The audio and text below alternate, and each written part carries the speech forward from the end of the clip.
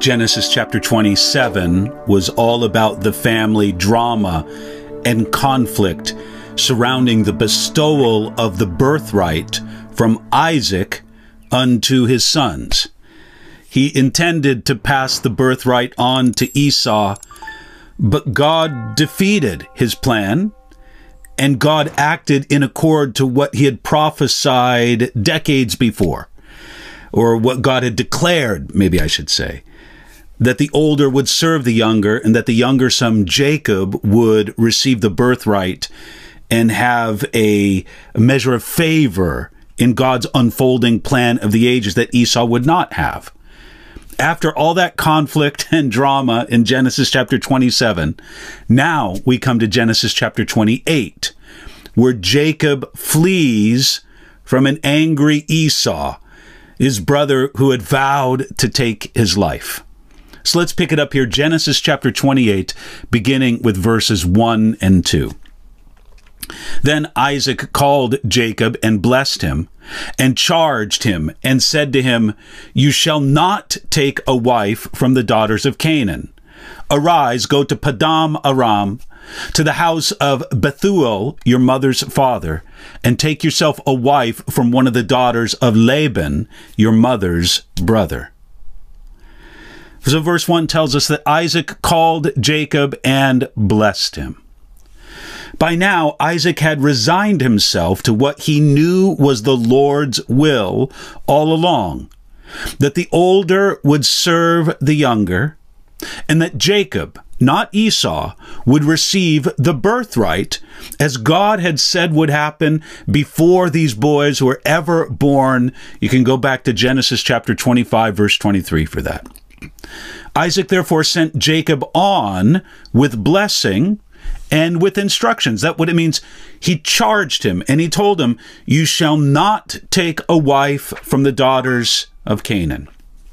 It was essential that Jacob obey his father in this and not receive a wife from the Canaanite women as his brother Esau had done. You see, Jacob was the one to inherit the birthright and carry on the seed of the Messiah. Therefore, Isaac sent his son Jacob far away to the east, to the land where his grandfather Abraham came from, to the land where uh, Jacob's mother came from, Isaac's wife, Rebekah, uh, essentially to find a wife among his cousins, the daughters of his uncle's uh, the daughters of his uncle there in the land of the east. Now, picking up in verse 3, Isaac is going to grant the blessing and the covenant of Abraham to Jacob. Look at this, it's very significant. This is what Isaac pronounced over Jacob before he left. He said this May God Almighty bless you and make you fruitful and multiply you that you may be an assembly of peoples and give you the blessing of Abraham to you and your descendants with you, that you may inherit the land in which you are a stranger, which God gave to Abraham. So Isaac sent Jacob away, and he went to Padan Aram, to Laban, the son of Bethuel the Syrian, the brother of Rebekah, the mother of Jacob and Esau. Before Jacob left, Isaac brought him in before, and without the deception, without the savory food that was meant to imitate what Isaac, excuse me, what Esau would uh, hunt in the field, without the hairy suit to imitate Esau's hairy, you know, uh, body. He just straightforwardly pronounced a blessing, the blessing that God intended to be placed upon Jacob. And he says, starting in verse 3, Isaac saying over Jacob his son, May God Almighty bless you. The first section of this blessing, I think we can regard as a general blessing of prosperity upon Jacob, blessing him in the name of God Almighty, that is in the Hebrew El Shaddai. Now, that title for God was previously used in Genesis chapter 17, verse 1, where God described himself to Abraham with this phrase God appeared to Abraham and said, I am El Shaddai, I am God Almighty. I find it fascinating that now Isaac uses this phrase in bestowing a blessing upon his son Jacob. And we could say that Abraham passed the knowledge of God as El Shaddai onto his son Isaac, who now passed it on to his son Jacob. And not only does he say, May God Almighty bless you, giving a general material blessing, a general blessing of prosperity, he also says in verse 4, and give you the blessing of Abraham. You see, after the general blessing, Isaac then gave the specific blessing of Abraham upon Jacob. That is the covenant blessing made to Abraham and to his descendants. We find that back in Genesis chapter 12, verses 1 through 3, Genesis chapter 12, verse 7, Genesis chapter 15, verse 8, Genesis chapter 17, verses 7 and 8. You see, this was the aspect of the birthright that Esau, the brother of Jacob, despised, but Jacob would gain it now. Though, to be honest, Jacob also seemed to be unworthy of such a blessing. Nevertheless, Jacob would be the one to inherit God's promise to Abraham. God selected this one man, Abraham, and made a covenant with him. That's in Genesis chapter 12, verses 1 through 3. And then following throughout, God renews the covenant, restates the covenant again and again with Abraham. And Abraham had several sons. He had a son born through an Egyptian servant named Ishmael but the covenant would not pass to Ishmael, but it went to Isaac. Nor did it go to any of the other sons that Abraham had through his second wife, Keturah. None of those other sons, but one son, Isaac, received the covenant of Abraham. Then Isaac had two sons. And the covenant would not pass to both of those sons, but to only one of them.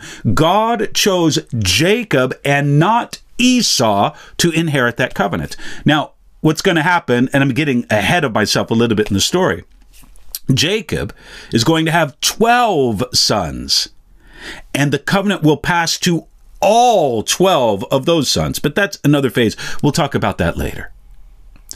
But even as Abraham was promised by God, again, this is in Genesis chapter 12, verse uh, 1 through 3, Abraham was promised a land, a nation, and a blessing, so Jacob was specifically promised. Friends, there's no doubt about this. This is the formal transference of the covenant that God made with Abraham from Abraham to Isaac, now to Jacob.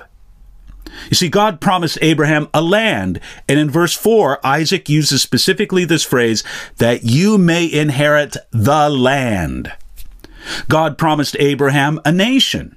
And in verse 3, Isaac told Jacob that you may be an assembly of peoples. That's talking about a nation. And God promised Abraham a blessing. And in verse 4, Isaac used the phrase that God would give you the blessing of Abraham. And that he would give it, as Isaac said, to you, meaning Jacob, and to your descendants with you. Now, look, let's be very straightforward about this. Uh, Jacob was not worthy of this blessing. Uh, we can talk about Esau not being worthy of the blessing, and that's true, but neither was Jacob. You see, each of the four parties in the drama, in the conflict of passing on the blessing that we saw back in Genesis chapter 27, Isaac, Rebekah, Esau, Jacob, all four of them, they all acted in an unspiritual manner. But the amazing thing was that God brought good out of all of it. This was, as you could say, a triumph of God's sovereignty and furthered his previously declared will that the older would serve the younger and that the younger would be preferred. The younger son of the twins, Jacob, and not Esau, would receive the covenant of Abraham. So after all that, verse 5 says, So Isaac sent Jacob away. Jacob would travel eastward to the region where his mother Rebekah was raised. He would not see his father Isaac again for more than 20 years when Isaac was truly near death. Now, in response to all of this, look at what Esau does, starting now at verse 6. Esau saw that Isaac had blessed Jacob and sent him away to Padan Aram to take himself a wife from there, and that as he blessed him, he gave him a charge, saying, You shall not take a wife from the daughters of Canaan. And Jacob had obeyed his father and his mother and had gone to Padan Aram. Also, Esau saw that the daughters of Canaan did not please his father Isaac. So Isaac went to Ishmael and took Mahalath, the daughter of Ishmael, Abraham's son, the sister of Nebajoth, to be his wife in addition to the wives that he had. It's so interesting to me now that verse 6 tells us that now the blessing and the birthright seemed important to Esau. That they weren't important to him before.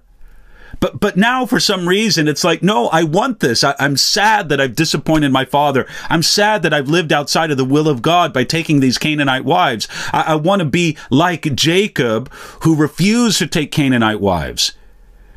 And, and, the blessing and the birthright were now important enough to Esau that he was determined to impress his father by marrying non Canaanite women when he saw that Jacob had obeyed his father and his mother. So Esau avoided the Canaanite women and married a woman from the family of his uncle Ishmael. Uh, not technically a Canaanite by any means, uh, but really this is just sort of damage control a little bit by Esau on his part because Esau had previously married Canaanite women, uh, much to the disappointment of his father and mother. So now Jacob is on his way. We pick up the text here in verse 10, where we start reading. Now Jacob went out from Beersheba and went toward Haran. And he came to a certain place and stayed there all night because the sun had set. And he took one of the stones of that place and put it at his head, and he lay down in that place to sleep. Then he dreamed, and behold, a ladder was set up on the earth, and its top reached to the heaven, and there the angels of God were ascending and descending on it. So Jacob traveled eastward towards the ancestral lands of his grandfather Abraham and his mother Rebekah. And as he stopped for the night, using a stone for a pillow, verse 12 says, Then he dreamed. Friends, I don't know. Maybe if you use a stone for a pillow, you're likely to have some dreams. But Jacob had a significant dream that wasn't just from his mind or his consciousness or whatever phrase you want to use for that. This was something from the Lord. Jacob had a significant dream in that desolate wilderness. By the way, you can only imagine the strange flood of feelings that were present in Jacob at that moment. The fear, the loneliness, the isolation, the excitement, the anticipation. This was a very important time in Jacob's life. And what did he see in the dream? Well, verse 12 tells us a ladder was set up on the earth and its top reached to the heaven, and there were the angels of God ascending and descending on it. You see, in Jacob's dream, there was now access to heaven. there was a ladder between heaven and earth. And that ladder was being used. The angels of God were ascending and descending on it. You see, Jacob now knew that God was closer than he had ever before believed. And Jacob understood now that there was real access and real interaction between heaven and earth. This is the God who came to meet Jacob. A God who reaches down from heaven and makes some kind of way for humanity to access God in heaven. And this all was typified by the ladder that Jacob saw in his dream. So Jacob sees this that there's a connection between heaven and earth that he never before understood, that, that God had somehow set this connection. And God was, in a sense, inviting Jacob to come and to use this connection. Jacob, I've made a way for you to come to me. Now, Jesus, of course, many centuries after this, made it clear in John chapter 1, verse 51, that he was this access to heaven. Jesus is how heaven comes down to people and by which people can go to heaven. Jesus, the Messiah, is the ladder. Let me read to you John chapter 1, verse 51. And Jesus said to him, These are the words of Jesus. Most assuredly, I say to you hereafter, you shall see heaven open and the angels of God ascending and descending upon the Son of Man. What Jesus is very plainly referring back to this occasion here in Genesis chapter 28, and he's saying, I am the ladder. I am the point of access between heaven and earth. I am the one that the Father has sent down so that men and women can come to heaven. Friends, Jesus is the way to heaven. You could say accurately so that Jesus does not show humanity a way as if Jesus was pointing to a way. No, Jesus is the way. He said that they would see the angels of God ascending and descending upon the Son of Man. He is the ladder, He is the way. You know, Jesus said in his upper room discourse the night he would be betrayed, the night before he would be crucified. He said this in John chapter 14, verse 6 to his disciples I am the way, the truth, and the life. No one comes to the Father except through me. What a remarkable and profound statement of Jesus. And before Jacob understood any of this being fulfilled in the coming Messiah, Jesus Christ, that blessing of Abraham that would uh, become a blessing to all the nations on earth. Before he understood any of that, he saw this in this vision of the ladder between heaven and earth and the angels of God ascending and descending upon it then beyond the picture the the vision the image that he saw in this dream of this ladder standing between heaven and earth and the angels of God ascending and descending upon it then God directly spoke to Jacob. Look at this starting now in verse 13 and behold the Lord stood above it and said I am the Lord God of Abraham your father and the God of Isaac. The land on which you lie I will give to you and your descendants. Also your descendants shall be as the dust of the earth. You shall spread abroad to the west and the east, to the north and the south. And in you and in your seed all the families of the earth shall be blessed. Behold, I am with you and will keep you wherever you go and will bring you back to this land. For I will not leave you until I have done what I've spoken to you. What a powerful passage. Now, understand something here. God made direct and powerful promises to Abraham, Jacob's grandfather. God made direct and powerful promises to Isaac, Jacob's father. Now, Jacob does not merely receive the inheritance of those promises, though that would have been precious enough.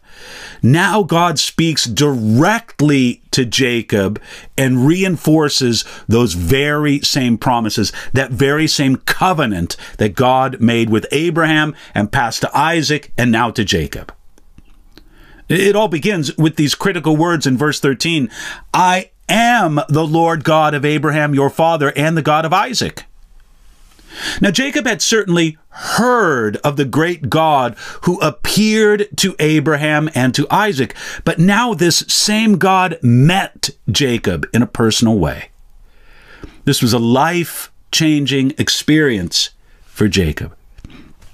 And friends, I, I don't know if you've encountered this or observed this, but it certainly is a phenomenon. You know, you, you think of a godly uh, mother and father, husband and wife, and they have a real relationship with God. Maybe something that began in their earlier years, but they've walked with the Lord and, and, and they've, they've uh, had children. And they want so much for those children to have their own vital relationship with the Lord. And they do the best they can to pass on a, living, breathing relationship. But there has to be something, some aspect that is experiential in the life of the child themselves where God goes from being the God of my mother and father to being my God to, to being the God that my mother and father put their trust in and I have been blessed by, to be my God that I trust in, my God that I have received great blessing from. This, I won't say that it's the only, but it's a key transition point in the life of Jacob, where God reveals himself to Jacob, personally to Jacob. And what a, what a life changing experience this was for him. God promised him, again, this is in verse 13, the land on which you lie, I will give to you and to your descendants. These words were for comfort and for hope to Jacob at this critical crossroads in his life. You could say that God repeated to Jacob the terms of the covenant that he gave both to Abraham. Again, you'll find that in Genesis chapter 12, verses 1 through 3 and to Isaac. You'll find that in Genesis chapter 26, verses 2 through 5. You see, previously, Isaac, his father, told Jacob the covenant was his. That's earlier in this very chapter, Genesis chapter 28. But now, the voice of God himself confirmed it to Jacob. Even as God had promised Abraham a land, a nation, and a blessing, you'll find that in Genesis chapter 12, verses 1 through 3. Now, in verse 13, God specifically promised Jacob a land. God specifically promised Jacob a nation. In verse 14, your descendants shall be as the dust of the earth. And God specifically promised Jacob a blessing. In verse 14, God says, In you and in your seed, all the families of the earth shall be blessed. This covenant of Abraham was not only passed on, so to speak, from the authority of Isaac, his father, to Jacob, but by the very authority of God himself speaking directly to Jacob. And to confirm this, God said to Jacob in verse 15, I am with you and will keep you wherever you go and will bring you back to this land, for I will not leave you until I have done what I have spoken to you. God promised to protect to preserve, to complete his work in Jacob. Friends, what good would it do for God to make such dramatic promises to Jacob of a land, a nation, and a blessing, uh, carrying on the same promises that he made to Isaac, the same promises that he made to his grandfather Abraham? What good would it be for God to make those promises to Jacob if Jacob dies along the way in this journey to the east? If Jacob never comes back to the land that God had promised? No, God said, Jacob, not only do I give these promises to you, but I'm going to protect you. I'm going to preserve you until these promises are fulfilled. You could say that God gave to Jacob the same kind of promise that was later found by the Apostle Paul in Philippians chapter 1 verse 6. This is what Paul wrote to the Philippians. Again, Philippians 1 6.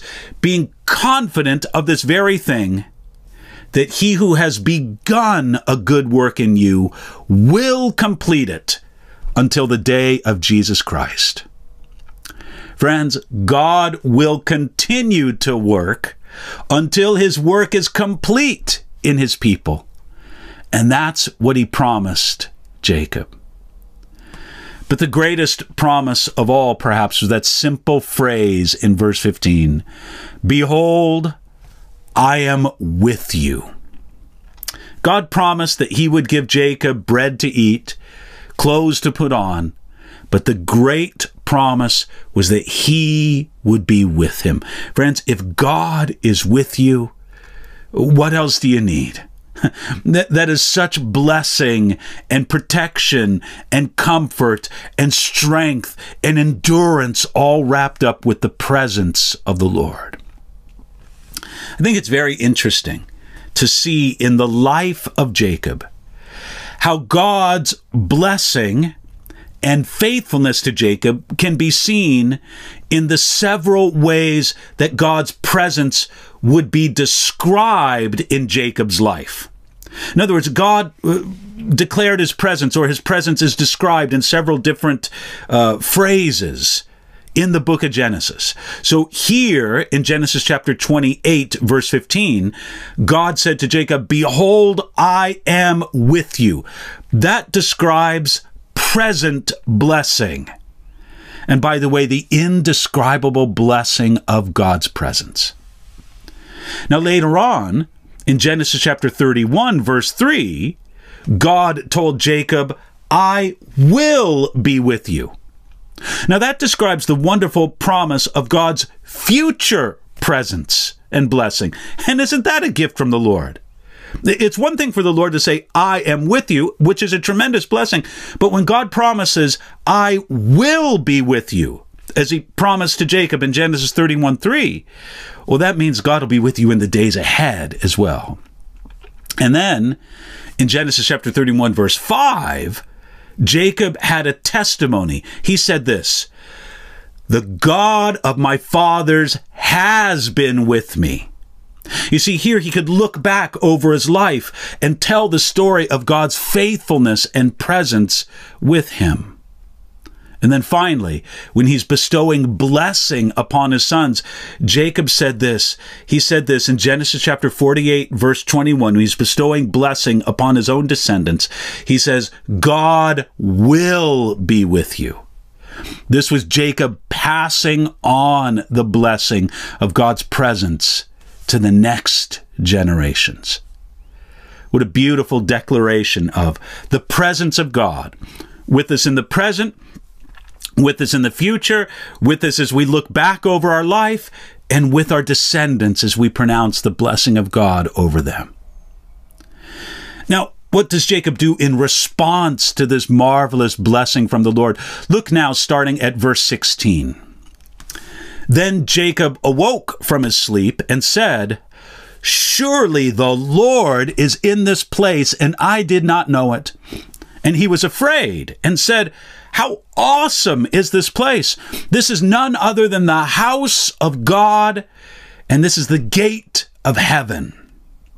Then Jacob rose early in the morning and took the stone that he had put at his head and set it up as a pillar and poured oil on top of it. And he called the name of that place Bethel. But the name of that city had been Luz previously. Jacob rightly sensed the presence of the Lord at that place. Therefore, he says there in verse 16, Surely the Lord is in this place, and I did not know it. However, I got to make a little bit of a correction here for you. If Jacob thought that God was in some places, but not in others, well, he was wrong. I mean, as King David would later say in the history of Israel, in Psalm 139, he would say at verse 7, Where can I go from your spirit, or where can I flee from your presence? King David understood that God was everywhere. So it wasn't wrong for Jacob to say, The Lord is in this place. But in a sense, it's because the Lord is in every place. Many years ago, I was on my first trip to Israel. And on my first trip to Israel, I had the opportunity to go to the Western Wall, that famous wall of prayer where observant Jews take the opportunity to pray. Now, it's not only observant Jews who pray there, there's Christians and I suppose uh, people who don't believe in God very much at all. They also like to go to that Western Wall and lay a hand on the wall and pray. And I remember very vividly uh, going there my very first time and expecting to experience some overwhelming spiritual uh, experiences. The, the presence of the Lord would surely uh, manifest itself, if nothing else, in my feelings. And I would have just such a great sense of God's presence as I laid my hand on the western wall, as so many other faithful people had done through the generations. And, and there I would be just there with them, with my hand on the the western wall praying. Now, I remember walking up to the wall. You know, I was wearing the, the head covering that, that they provide and as a show of respect there. And there I was at the wall and I laid my hand on it and I began to pray. And I'll tell you what I felt. I felt absolutely nothing. nothing. Matter of fact, it was almost dramatic or demonstrative that I didn't feel anything. It was almost as if God wanted me to feel nothing special at that moment. And I, I, I just kind of sought the Lord about it. And I really believed that what God was saying to me was that, David, I'm not any, I'm not here with you in any greater measure here than I'm with you in California where you live and have your daily life. I'm with you all the time. You, you don't need to come to a certain place to experience the presence of the Lord. I'm with you all the time. And I got to say, that was a very uh, special experience for me, reinforcing for me that, yes, God can meet his people in a particular place, but God is not more in one place than another. But surely, because of this experience, we understand how Jacob says at that moment, as he declares in verse 16, Surely the Lord is in this place, and I did not know it. And he very rationally says after that in verse 17, How awesome is this place! From Jacob's unspiritual and perhaps even superstitious perspective, he put a lot of emphasis on a particular place he, he didn't really seem to realize that if the presence of the Lord was not with him in every place, then God could never fulfill his promise to him. Jacob, it's wonderful that you're experiencing something powerful from God in this place, but you're moving on eastward. God has to be with you in every place, not just this place. But that particular place, verse 19 says that he called the name of that place Bethel. Now, the city of Bethel would play an important role in Israel's history, though not an always glorious role. Among the cities of Israel, it is second only to Jerusalem in the number of times it is mentioned in the Old Testament. Later, when God spoke to Jacob, he would refer to himself as the God of Bethel. That's Genesis chapter 31, verse 13. But sadly, Bethel would later become, eventually become, a high place, a, a place known for sacrifice to idols. That's in 1 Kings chapter 13, verse 32, Hosea chapter 10, verse 15, Amos chapter 4, verse 4. Bethel later became an infamous place of idol sacrifice. Now, at verse 20, Jacob's going to make a vow unto God, where we read, Then Jacob made a vow, saying, If God will be with me, and keep me in this way that I'm going, and give me bread to eat and clothing to put on, so that I come back to my father's house in peace, then the Lord shall be my God and this stone which I have set as a pillar shall be God's house. And all of that you give me, I will surely give a tenth to you. Now, in verse 20, where Jacob said, If God will be with me, my understanding from the commentators I read, the, the Hebrew scholars, uh, apparently that can be translated since God will be with me. In other words, it, it, it's a little hard to say exactly whether or not Jacob intended God if you'll be with me, then I'll do these things for you, or whether or not he said, since I know God will be with me, this is what I'm going to do for the Lord. But, but knowing Jacob, I think it's likely that he meant it in the sense of if God will be with me. You see, God gave Jacob a promise Yet Jacob here is trying to bargain with God. You could say he's even promising God money if he fulfills his promise. Lord, if you fulfill your promise, if you bring me back to this land as you said you would do. But by the way, it's interesting that Jacob's eye was always on coming back to the land, that he understood that he was not moving to the east permanently, even though he would spend more than 20 years in the east. He understood that he was coming back to the land. And this is what he said. He said, God, if you'll fulfill your promise and bring me back to the land, then Lord, I'm going to give you 10%. Now look, it's, it's a wonderful thing to be generous with God and to give God a tenth, a tithe. That, that's an appropriate measure of generosity as is seen in the scriptures often. But, but it's never to be done in the sense of sort of buying off or paying off God. Well, God, if you'll scratch my back, then I'll scratch yours. Lord, if you'll bless me, then I'll bless you with some money in return. And the whole kind of approach of Jacob unto God here, this approach saying, okay, God, you made me a promise. Now, if you'll fulfill it, then I'm going to treat you right. Then to me, the way Jacob prayed made it evident that God's mere word was not enough for him. Jacob had to see God do it before he would believe. Now, the people of God today should not be the same way, but they often are.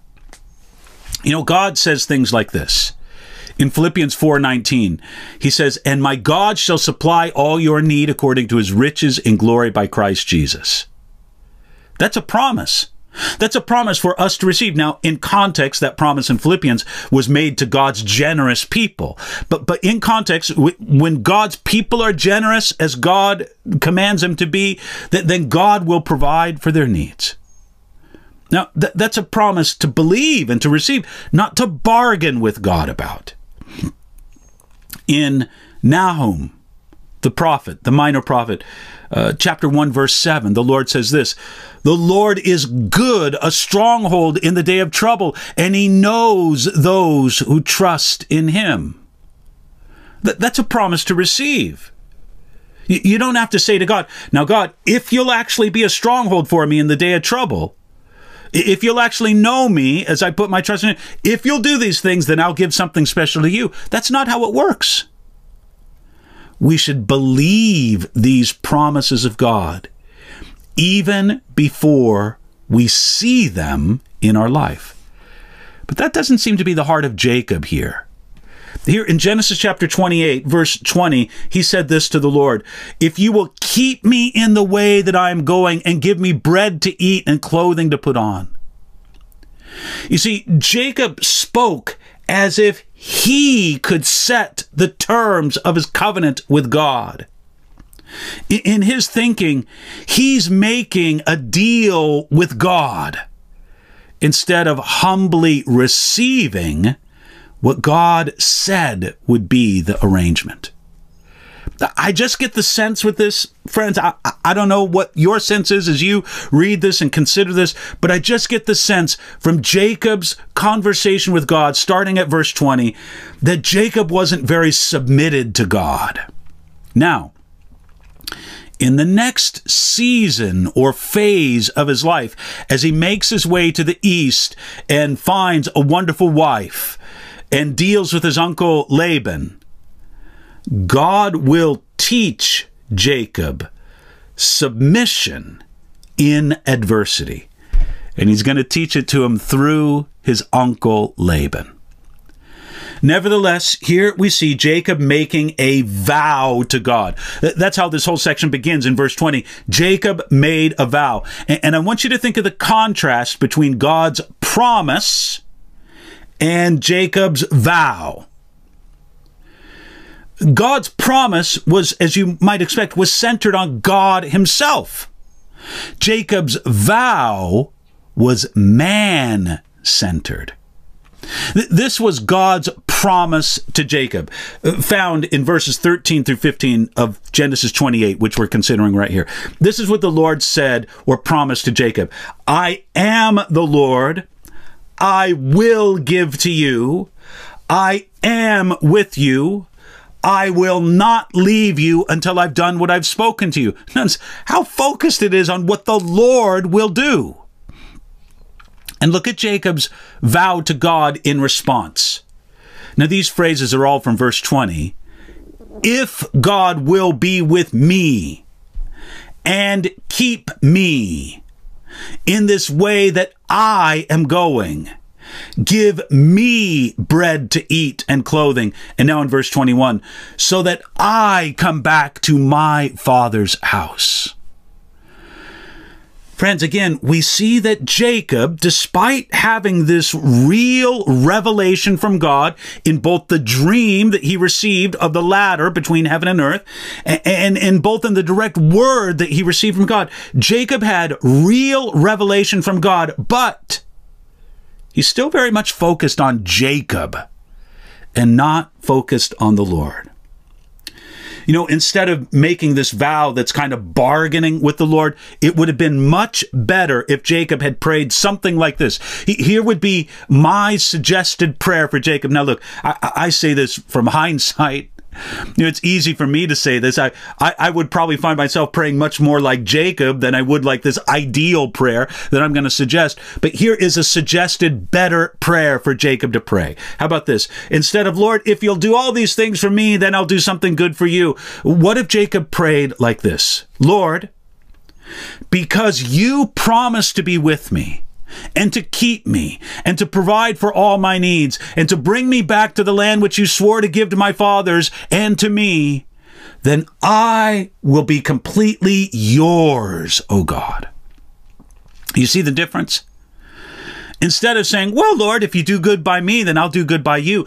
Instead of that, it's saying, Lord, you've promised these things to me. I believe your promise. And because you've made that promise, I surrender myself to you.